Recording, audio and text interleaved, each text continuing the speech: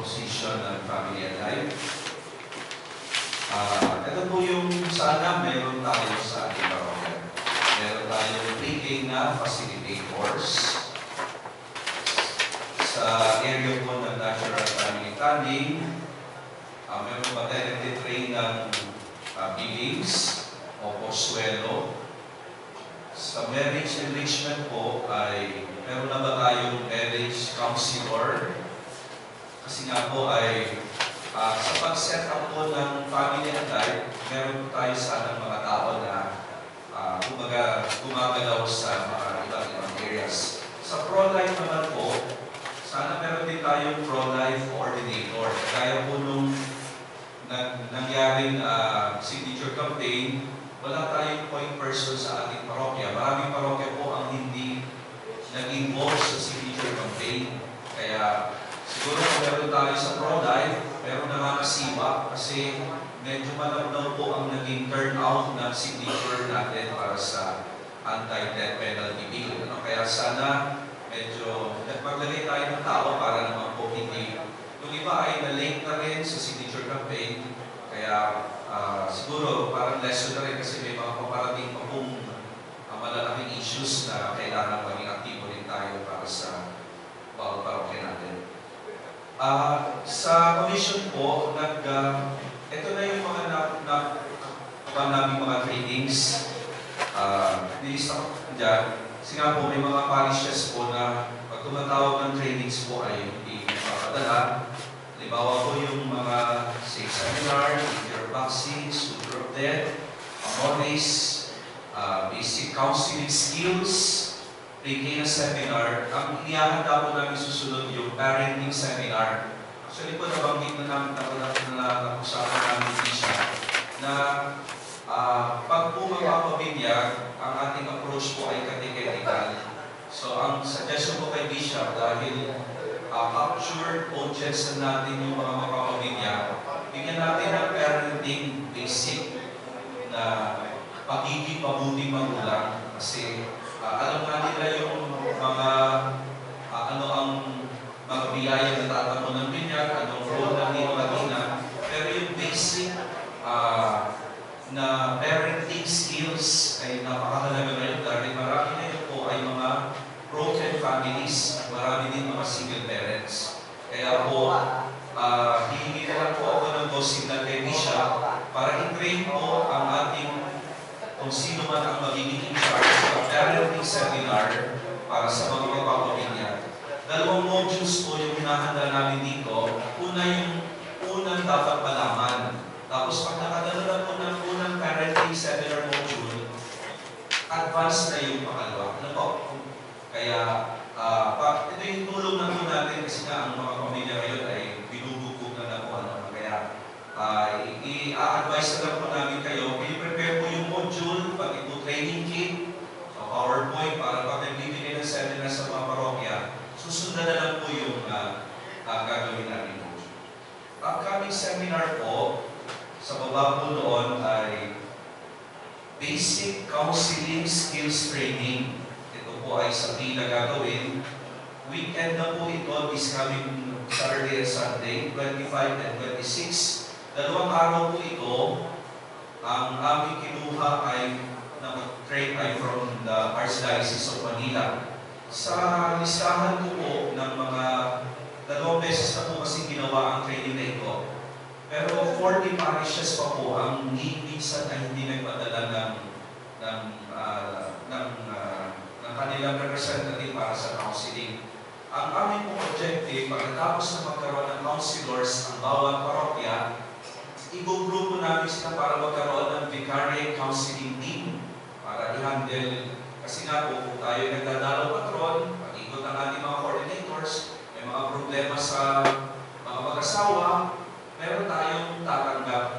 Sa atin din po pre-K na, ang huling session mo ng pre-K na, dapat ipapakilala yung counselor dun sa mga inihahanda sa, kakas sa kasal para pag nagkaroon, hindi naman maiwasan, meron silang pwedeng takuhan. Kasi nga, eh, marami na tayong ginagawa, hindi na rin natin na, na nabibigay yung klase ng service. Ano po?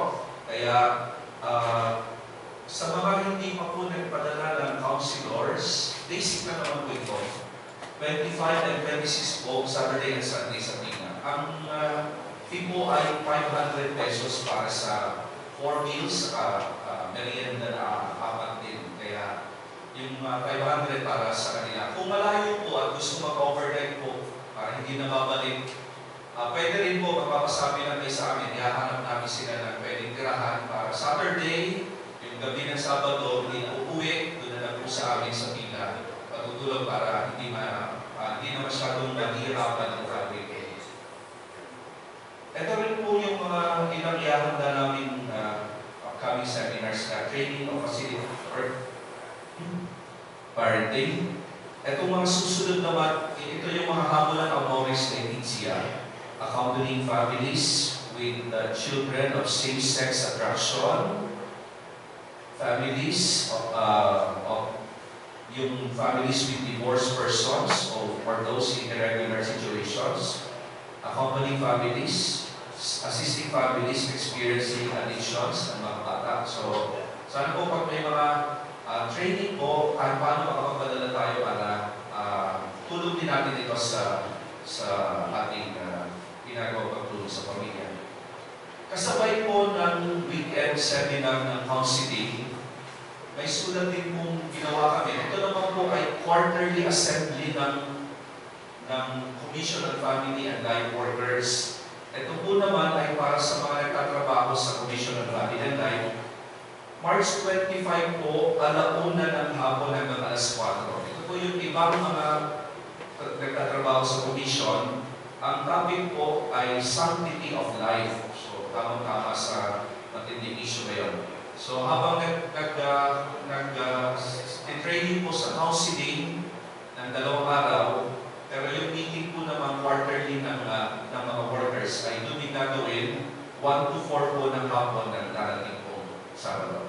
Pakipadala po ang inyong parish, Commission on Family and Life Coordinators. So yun po sa amin, 25-26, BCST, Basic Counseling Skills Training, and 25 Saturday ay quarterly assembly and formation ng mga Paris uh, Commission on Family and Life Workers.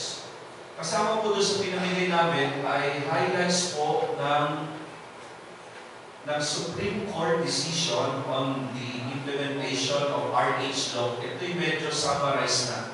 Ano ba yung nangyari matapos na gawin batas yung RH law? At ano yung naging desisyon na nakarating ko sa Supreme Court? Andito na po lahat. So, para ito naman sa atin, ano, para alam natin kung nasaan na tayo sa, sa implementation ng RH law. Sa huli po niyan, ng, uh, nandiyan na rin yung mga updates po. Kasi kahit na nagkaroon ng TRO sa Supreme Court, naglabas naman ng EO, executive order ng ating Pangulo para mabahagi ng mga contraceptives yung update po dyan, nandun po sa last two pages po. Na. Ito ay para sa inyong information. Susunod po ay sa SOGI. Ano po, yung SOGI natin ay uh, kasabay ng uh, pagdideliberate sa death penalty ay nasa committee level naman yung discrimination bill on the basis of uh, sexual orientation and gen gender identity yung sa sinusulong ng LGBT. Nang aming pong tingnan, ako, may bills ang naka-file sa SOGI. Ano po?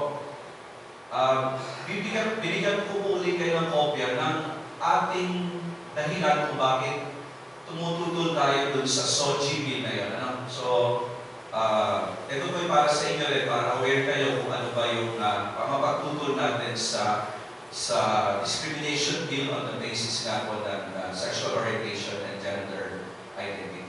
So, uh, may humingi ng, ng uh, kopya ng death penalty bill. Sa susunod na lang po kung ano yung uh, uh, naipasang uh, version sa lower house na si uh, Roy. Pero yung ang hawak pong mga listahan ng mga bills ay yung sa SOGI na.